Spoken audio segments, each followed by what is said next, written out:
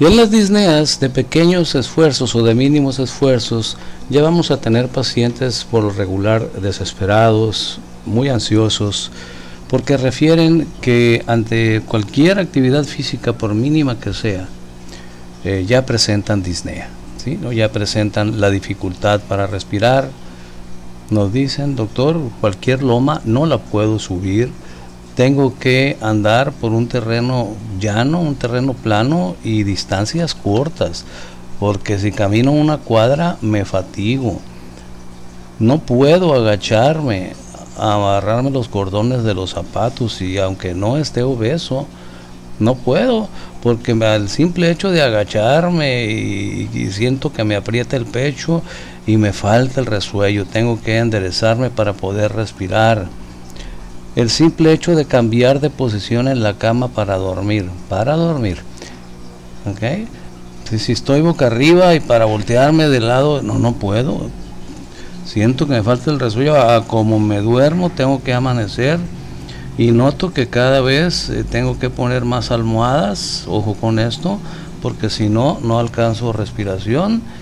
Y ustedes notan que mientras habla el paciente, tiene que tomar aire después de pronunciar 15 o 20 palabras seguidas, tiene que tomar aire profundamente porque si no, no puede continuar.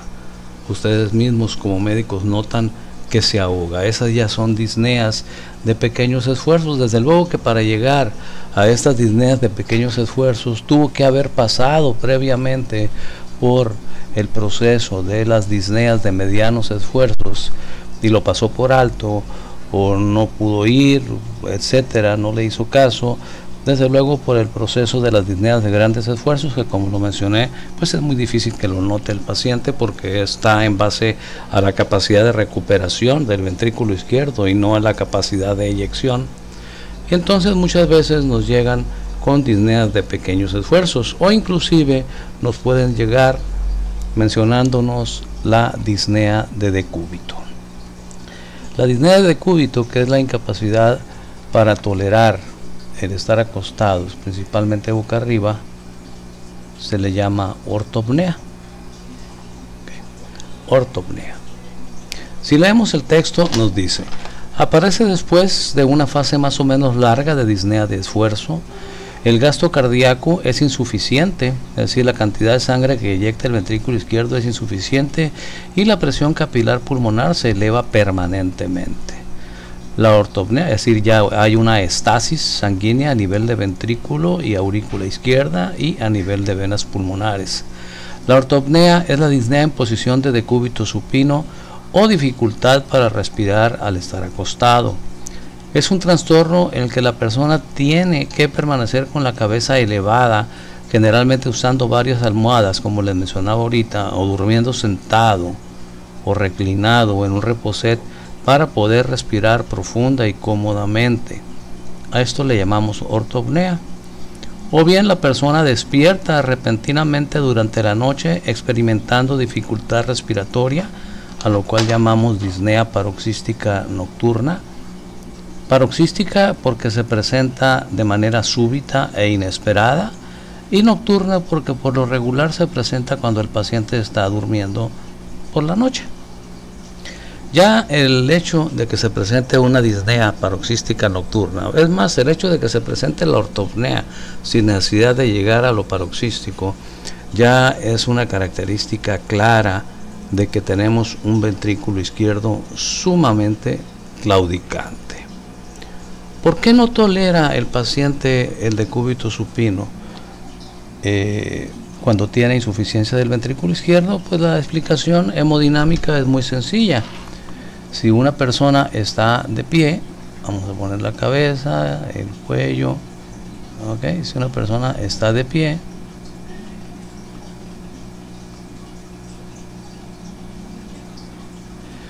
el corazón está aquí, y la fuerza de gravedad le ayuda al corazón.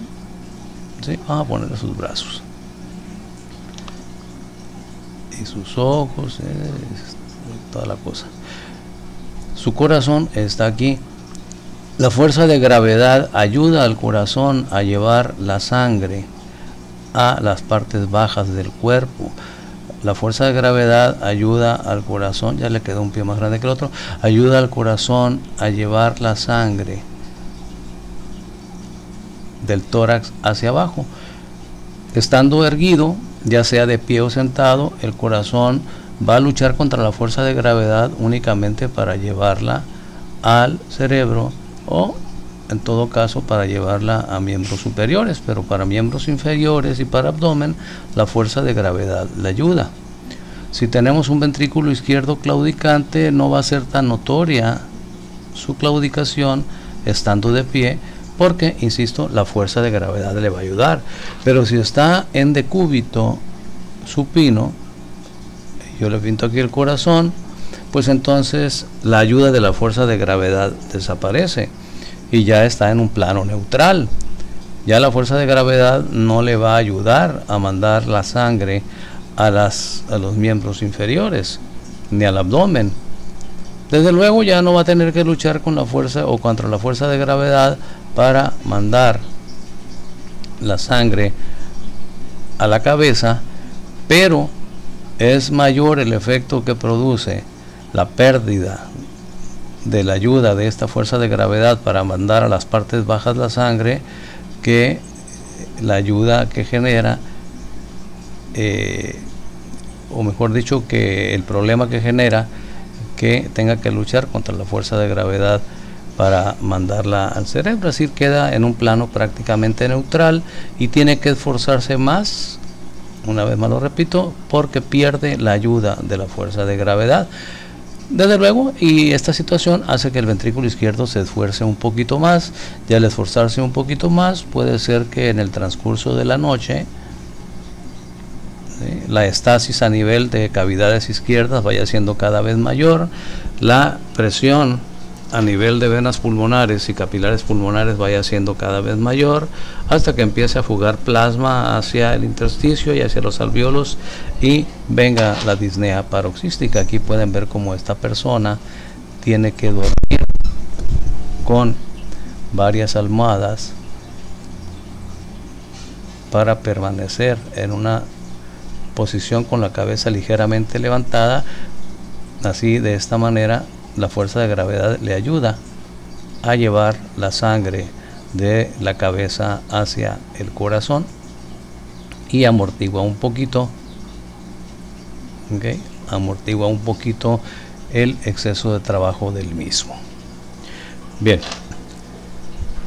Eh, la disnea paroxística o disnea paroxística nocturna pues ya es una evidencia de que ese ventrículo izquierdo está muy claudicante, es la evidencia de que hay fuga de plasma a nivel de capilares pulmonares, es la evidencia de que este paciente ya está en las últimas etapas de su cardiopatía hipertensiva. El edema pulmonar.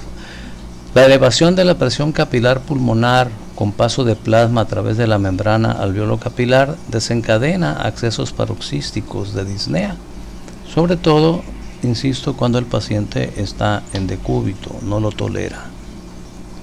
No lo tolera y a veces aunque se ponga varias almohadas, como mencioné ahorita, lo cual eh, inclina un poquito la fuerza de gravedad a su favor, de cualquier forma puede ser que la estasis a nivel, la estasis sanguínea a nivel de cavidades izquierdas, de venas pulmonares y capilares pulmonares, eh, pues permita la fuga de plasma hacia los alveolos, como lo vemos en esta figura, y entonces pues ya tenemos esto, esto es un edema agudo del pulmón. El paciente, si es que está dormido, se despierta con una sensación inminente de muerte, con una sensación de asfixia a extremo. El paciente se despierta sintiendo que inevitablemente va a morir y muchas veces, sí es cierto, muchas veces se mueren si no son tratados rápidamente. El sentarse ayuda un poquito o mejora un poquito la sintomatología, pero definitivamente no resuelve el problema un paciente con una, un cuadro típico de edema agudo de pulmón que ha presentado cuadros o que por primera vez presenta un cuadro de disnea paroxística nocturna, hay que llevarlo al hospital inmediatamente y ya en el hospital pues le administrarán medicamentos digitálicos, le administrarán diferentes tipos este, de fármacos para disminuir la presión capilar pulmonar, revertir el edema pulmonar y que este pueda sobrevivir. ¿no? Les digo, en muchas ocasiones no alcanzan a llegar al hospital, mueren asfixia, mueren ahogados en su propio plasma. espero haber sido claro por el reflujo, la estasis, el estancamiento que hay a nivel de capilares pulmonares. Y todo porque la hipertensión arterial, acabó con el trabajo del ventrículo izquierdo,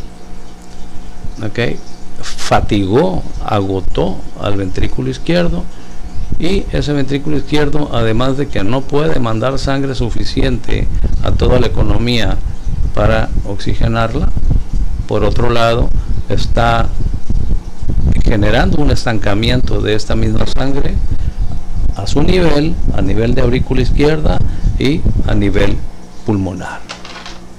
Como nos dice el texto, aunque está en letras negras, lo cual es muy malo, el edema pulmonar generalmente es causado por insuficiencia cardíaca izquierda y la insuficiencia cardíaca izquierda por lo general es causada por un problema de hipertensión arterial prolongado. A medida que el corazón deja de funcionar, la presión en las venas que pasan a través del pulmón comienza a elevarse. A medida que el corazón falla, la presión en las venas que atraviesan los pulmones comienza a elevarse y a medida que la presión en estos vasos sanguíneos se incrementa, pues, aunque ya no se alcanza a ver aquí abajo, el líquido pasará de los capilares pulmonares al intersticio y de ahí a los alveolos y esto nos dará el edema pulmonar. Ahora, quiero hacer una aclaración. El edema pulmonar no es exclusivo de la cardiopatía hipertensiva. Si ustedes recuerdan cuando hablamos de valvulopatías, cuando hablamos de las cuatro principales valvulopatías, insuficiencia aórtica, estenosis aórtica, insuficiencia mitral y estenosis mitral, vimos que cualquiera de las cuatro nos puede generar edema agudo de pulmón. No necesariamente tiene que haber hipertensión arterial. Pero la hipertensión arterial, muchachos, es una patología mucho más frecuente que las valvulopatías que comentamos.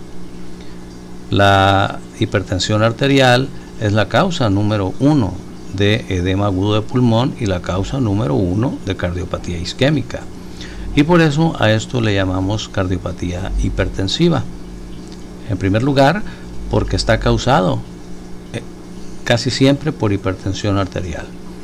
Y número dos, porque está generado por un aumento de la presión dentro de las cavidades, es decir, la, consecuencia es un aumento de la presión en las cavidades izquierdas del corazón que conlleva a el aumento de la presión a nivel de venas y capilares pulmonares. Pero quiero que quede claro, en la cardiopatía hipertensiva, el último peldaño, ¿sí? la última consecuencia es el edema pulmonar o puede ser el infarto agudo del miocardio. Pero esto no quiere decir que la hipertensión arterial sea la única causa de edema pulmonar. Una valvulopatía mitral, una valvulopatía eh, aórtica nos puede llevar también al edema pulmonar, como ya lo hemos eh, explicado, pero la frecuencia, la incidencia en lo que se refiere a la presentación de edema agudo de pulmón es principalmente por cardiopatía hipertensiva. Esta es la clasificación eh, actual, la clasificación funcional de la, de la insuficiencia cardíaca izquierda, de la cardiopatía hipertensiva, de acuerdo a New York Heart Association. La clase 1 si nos vamos a la estratificación, la clase 1, esta debe ser la, más nueva, la, que está actualmente vigente. La clase 1, bueno, No hay limitación, el ejercicio físico normal no causa fatiga, disnea o palpitaciones indebidas, es decir, no hay sintomatología con la actividad física. La disfunción ventricular izquierda es asintomática, es decir, aquí es cuando puede ser que haya una disfunción mínima del ventrículo izquierdo, pero la única forma de detectarlo es si escucháramos un tercer ruido cardíaco, si escucháramos un galope, o bien si el paciente tuviera problemas con el tiempo de recuperación después de agotar su eh, esfuerzo submáximo, que es del que hablábamos ahorita, es decir, que tardase demasiado tiempo en recuperarse después de hacer un esfuerzo más o menos intenso. Pero en reposo, en condiciones naturales, llevan su vida de una forma normal sin que haya manifestaciones. Claro, está el antecedente de que es hipertenso. Ya hay daño a órgano blanco pero semiológicamente todavía no se manifiesta. La etapa 2, ya hay ligera limitación de la actividad física sin síntomas en reposo. La actividad física normal causa fatiga, palpitaciones o disnea. Palpitaciones es el hecho de que el paciente o cualquier persona sintamos los latidos de nuestro corazón en nuestro pecho sobre todo estando en reposo. Es normal que sintamos los latidos de nuestro corazón cuando hacemos un ejercicio intenso, pero cuando estamos en reposo no. Entonces una persona que sienta en reposo palpitaciones, ese puede ser un dato de eh, una insuficiencia ventricular izquierda incipiente. Y aquí la mencionamos como grado 2, hay una ligera limitación de la actividad física hay una insuficiencia cardíaca izquierda leve. En reposo no hay manifestaciones, pero con la actividad física normal sí los hay. Aquí estaríamos hablando ya nosotros de eh, pues una insuficiencia cardíaca leve que se manifiesta con disnea de medianos esfuerzos. El grado 3 ya nos habla a nosotros de una eh, sintomatología acusa que, acusa limitaciones de la actividad física ya importantes. No hay síntomas en reposo, pero cualquier actividad física provoca la sintomatología. Es decir, aquí ya tenemos nosotros una insuficiencia cardíaca izquierda moderada que da manifestaciones con cualquier actividad física aquí ya estamos entre la disnea de medianos esfuerzos y la disnea de esfuerzos mínimos. Y ya la cuarta etapa dentro de esta clasificación de la New York Heart Association es la incapacidad de realizar actividad física. Los síntomas de la insuficiencia cardíaca están presentes incluso en reposo y aumentan con cualquier actividad física. Aquí estamos hablando de una insuficiencia cardíaca grave, en donde ya va a estar presente en esta etapa 4, ya va a estar presente no nada más la disnea de esfuerzo, sino la ortopnea y puede presentar episodios de disnea paroxística nocturna que nos habla de la presencia en mayor o menor grado de edema de pulmón.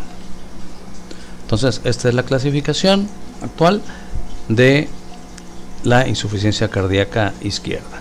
Y se fijan, está eh, relacionada con la presentación de disnea o de palpitaciones, de fatiga, acorde a la actividad física. Tenemos que establecer diagnóstico de la disnea de, por cardiopatía hipertensiva, ¿sí? la disnea por insuficiencia del ventrículo izquierdo, con la disnea que se asocia a síndrome respiratorio, así la disnea de la insuficiencia respiratoria aguda. Dice, la disnea es uno de los síntomas más importantes del síndrome de insuficiencia respiratoria aguda.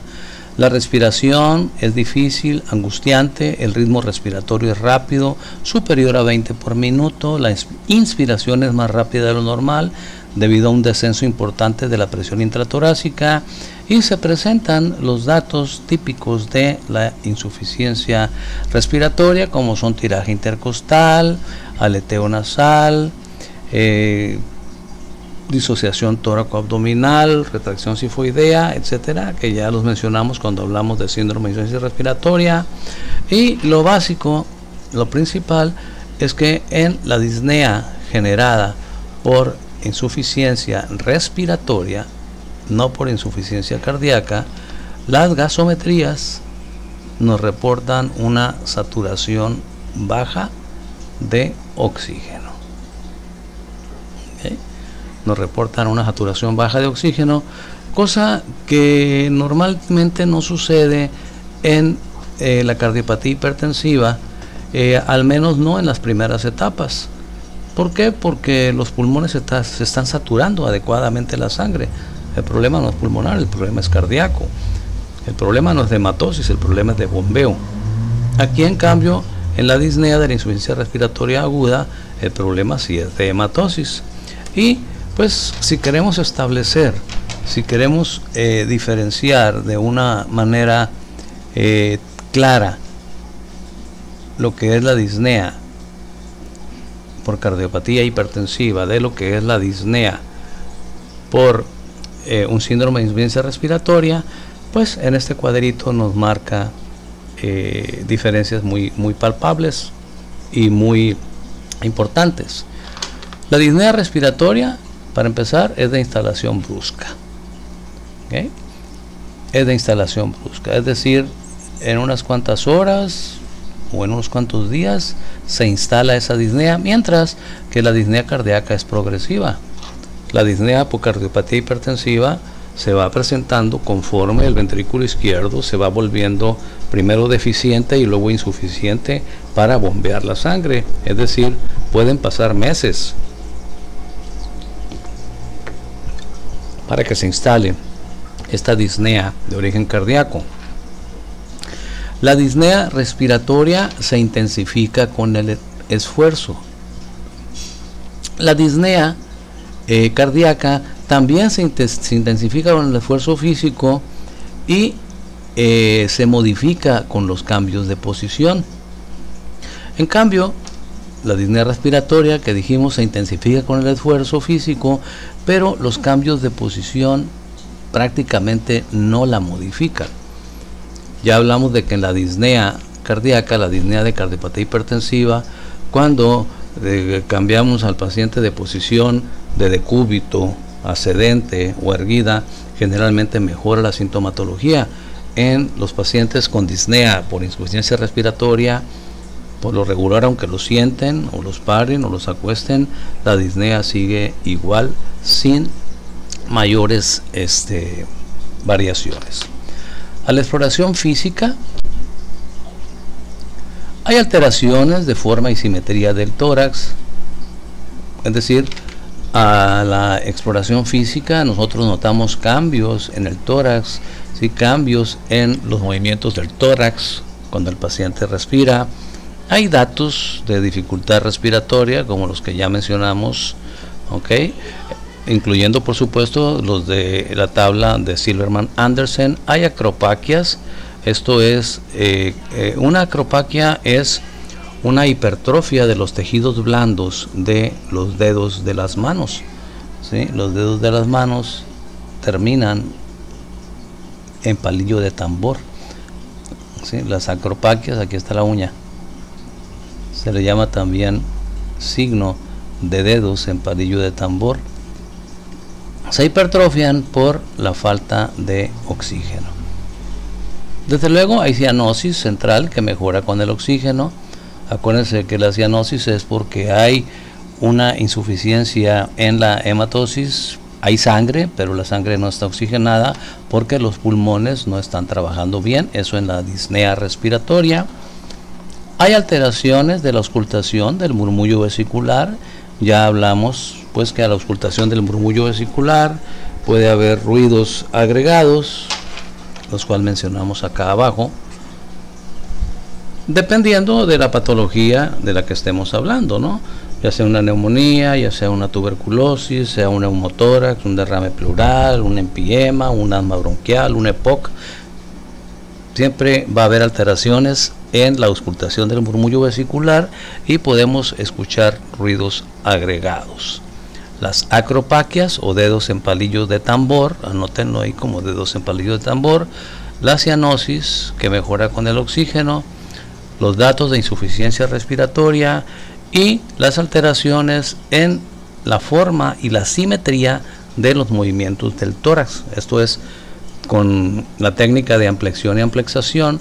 Cuando hay disnea respiratoria podemos darnos cuenta que de uno de los dos lados, derecho o izquierdo, generalmente en las enfermedades restrictivas pulmonares, pues hay hipomovilidad. En cambio, al examen físico en las disneas cardíacas podemos encontrar distensión de, de las venas yugulares, sobre todo cuando ya está involucrado la parte derecha del corazón. Podemos encontrar galopes, si hablamos de galopes hablamos de tercero y cuarto ruido cardíaco, que nos hablan de hipertrofia del ventrículo izquierdo y de insuficiencia eh, cardíaca izquierda incipiente. Puede haber hepatomegalia por reflujo hepatoyugular, Puede haber edema de miembros inferiores o miembros superiores. Hay intolerancia al decúbito, recuerden la ortopnea. Y si eventualmente se llega al edema agudo de pulmón, habrá estertores crepitantes húmedos parecidos al de a los de la neumonía, pero en este caso lo que hay dentro de las alveolos, como ya lo vimos en la figura anterior, lo que hay dentro de los alveolos no son secreciones, no es pus.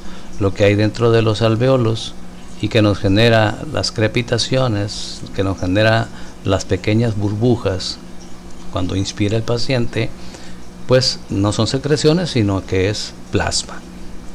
Es plasma que se fuga de los vasos sanguíneos, de los capilares, de estos capilares que están viendo ustedes aquí, de los capilares pulmonares, por el gran aumento de la presión que hay en ellos debido a la estasis de las cavidades izquierdas. Ok, con esto muchachos concluimos el tema de cardiopatía hipertensiva. Hay que aprenderse la clasificación, las manifestaciones, pues si se fijan hablamos predominantemente de disnea, no hablamos de dolor precordial porque dolor precordial lo tocamos principalmente en el tema previo que fue de cardiopatía isquémica. Eh, aquí más que nada nos enfocamos a la principal manifestación, al, primer, al principal síntoma de la cardiopatía hipertensiva que es la disnea, la disnea de esfuerzo que evoluciona a ortopnea y que luego puede evolucionar a las disneas paroxísticas nocturnas. Bien jóvenes, Muchas gracias por su atención y eh, más tarde, este, hoy mismo, empezaremos con el tema de abdomen. Mm, tenemos lunes y martes y lo que queda de hoy para trabajar en él, creo yo que podemos avanzarle algo para el miércoles tener ya nuestro último examen en donde espero que todos salgan maravillosamente. Créanme que me siento muy satisfecho la verdad yo estaba muy escéptico, mucho, muy escéptico, demasiado escéptico con este tipo de, mecanismo, de esta vía de enseñanza-aprendizaje virtual.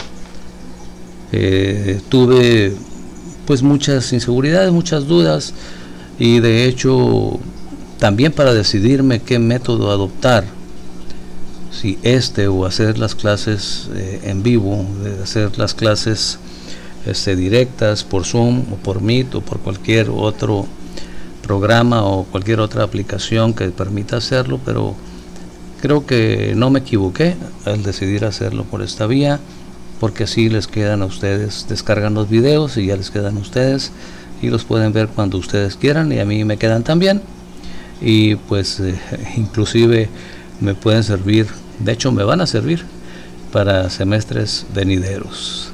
Ustedes muchachos van a pasar a la historia conmigo, al menos me refiero conmigo, como la, la generación que hubiera querido yo conocer más, con los que hubiera querido convivir más, pero que siempre los voy a considerar mis amigos. Y no me estoy despidiendo, todavía nos queda el tema de abdomen, pero eh, les aseguro, hubiera querido que hubiéramos tenido más interacción. De cualquier manera, pues la hemos tenido, aunque sea virtual. Y eh, les agradezco los comentarios, los comentarios, eh, pues sobre todo los comentarios positivos, que no, no ha habido ninguno negativo, los comentarios positivos que han hecho ustedes en algún momento en los videos, se los agradezco de corazón, eso me estimula a mí a seguir adelante y pues echándole más ganas para que de alguna manera lo poco que yo les pueda enseñar a ustedes eh, sea aprovechado y si es apreciado, pues tanto que mejor. Bien, jóvenes, aquí corto mi llanto y mi discurso y nos vemos, nos escuchamos, bueno, me escuchan más tarde. Gracias.